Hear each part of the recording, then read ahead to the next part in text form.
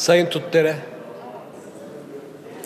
Türkiye Büyük Millet Meclisi Başkanlık Divanı üyesi ve Cumhuriyet Halk Partisi Adıyaman Milletvekili Avukat Abdurrahman Tutdere, sahte fatura mağduru akaryakıt istasyonlarının sorunlarını Türkiye Büyük Millet Meclisi gündemine taşıdı. verdikleri vergiler ile ülkemize katkı sağlayan, Türkiye'nin çeşitli illerinde faaliyet gösteren iki Sahte fatura nedeniyle mühürlenerek faaliyetlerine son verilen akaryakıt istasyonlarının sorunlarını Türkiye Büyük Millet Meclisi Genel Kurulu gündemine taşıyan Milletvekili Tutdere, gerçek ve tüzel kişi akaryakıt bayilerinin mağduriyetlerinin giderilmesi için iktidara çağrıda bulundu. istasyon mühürlenmiş, faaliyetleri durdurulmuştur.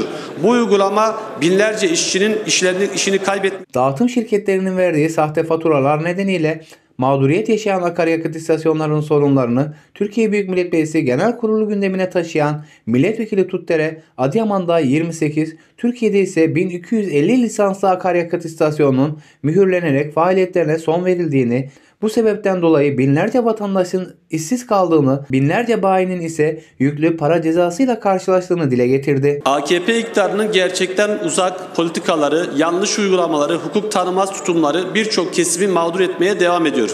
Yarattıkları isti- istihdam ve verdikleri vergiler ile ülkemize katkı sağlayan, Türkiye'nin çeşitli illerinde faaliyet gösteren 2000'den fazla petrol istasyonu bayisi, gerçek ve tüzel kişi karşılaştıkları hukuksuz uygulamalar nedeniyle mağdurlar. Maddi olarak telafisi imkansız zararlarla karşı karşıyalar. EPDK'dan lisanslı dağıtım şirketlerinin hukuksuz işleri nedeniyle birçok istasyon mühürlenmiş, faaliyetleri durdurulmuştur. Bu uygulama binlerce işçinin işlerini, işini kaybetmesi sonucunda doğurmuş, çok sayıda aileyi ekonomik olarak dara düşürmüştür. Buradan iktidara açıkça çağrı yapıyorum. Haksızlara maruz bıraktığınız gerçek ve tüzel kişi bayilerin mağduriyetini giderin. Gerekli çalışmaları yapın diyorum. Genel kurulu saygıyla selamlıyorum. Teşekkürler başkanım.